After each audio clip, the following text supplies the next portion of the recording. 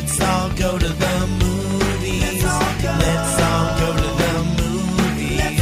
Let's all go to the movies and have ourselves some fun. Let's go. Good morning, movie mom, and happy weekend. Happy weekend to you. We've got a lot of movies coming out, and some of them are really good, but all of them are really tense and violent. As long as they're good. Let's start with Black Mass. How long have we been waiting for Johnny Depp to be in another good movie and give a good performance? Forever, right? He is mesmerizing as real life, most wanted criminal Whitey Bulger, second only to Osama bin Laden on the FBI's most wanted list. What's the family secret recipe? It's, gr- it's ground garlic and a little bit of soy. I thought it was a family secret. And you gave it up to me, boom. Maybe you spill a little something about me tomorrow. I was just saying that. You were just saying. Just saying.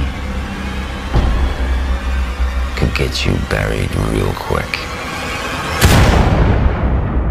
Personally responsible for about 19 murders. He really ran a big crime family in Boston. What's interesting about this movie, though, is that it shows that the FBI was helping him. Uh, they thought that he would help them go after some even worse guys, but, you know, he's a crook. He was not trustworthy, and it's about what happened then. Amazing cast in this movie. Benedict Cumberbatch plays his brother, who is a politician. Kevin Bacon is in it because why not? Kevin Bacon has to be in everything. uh, the wonderful Corey Stoll. Joel Edgerton is the FBI guy really well done, very brutally violent. This is sort of like Goodfellas type movie, but Johnny Depp is fantastic. And you see how he gets to be more of a hardened criminal over the years. Okay, so that's a good one. Then, if you want to see a lot of other Hollywood big stars die, you also got Everest. This is not a spoiler alert. This actually happened. We all remember when it happened. There was a best selling book about it, Into Thin Air by Jon Krakauer, who was on the most disastrous Everest climb ever. You know, it was impossible for me to care about any of these people because A, they spent 65000 dollars to do something stupid, and B, they spent sixty-five thousand dollars to do something stupid, and then they climb Mount Everest. And one thing that happens when you're up there is your brain swells, and you get even stupider. The scenery is incredible. It's IMAX 3D. You will look down and feel like you are on top of Mount Everest, which will save you sixty-five thousand dollars. we might still do something stupid though. yeah, not that stupid.